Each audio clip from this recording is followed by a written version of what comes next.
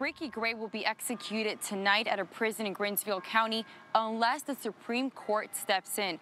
Now, yesterday, Governor McAuliffe announced he will not be stopping that execution.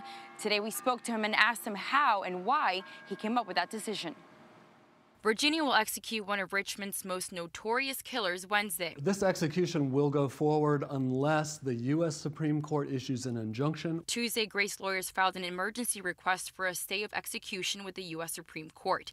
They argue the Department of Corrections will use an unconstitutional method of execution, referring to the combination of drugs and the lethal injection. The question is does this three drug combination, is it going to cause the type of suffering that would be cruel and unusual punishment? The application came days after the Fourth Circuit Court of Appeals denied a similar request.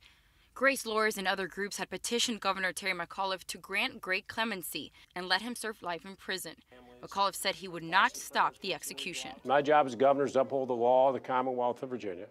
I looked at the entire file, our counsel looked at the file, and I saw no reason I should intervene uh, to stop the execution of Ricky Gray. The crimes he committed were heinous. Gray and his nephew and accomplice, Ray Dandridge, shocked the city in January 2006 when they were linked to seven murders in six days. Gray was convicted for murdering Catherine and Brian Harvey and their two young daughters, Ruby and Stella. The Harveys were found bound, beaten, and stabbed inside the basement of their Woodland Heights home. The home was also set on fire.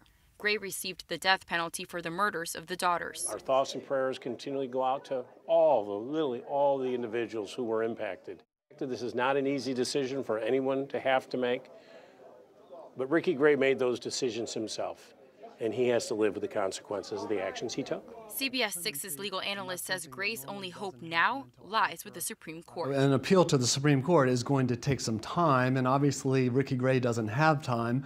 But uh, in, in, when they see the urgency of this, you know, an injunction is something they can do pretty quickly. So the Supreme Court can still act, and they could issue an injunction to stop the execution temporarily until they consider the issues. Gray's execution is scheduled for 9 o'clock tonight. Governor McAuliffe tells us he has a special phone set up in his office where he expects to hear from the Supreme Court before 9 o'clock, one way or another. Working for you at the governor's mansion, I'm Claudia Rupcich for CBS 6 News.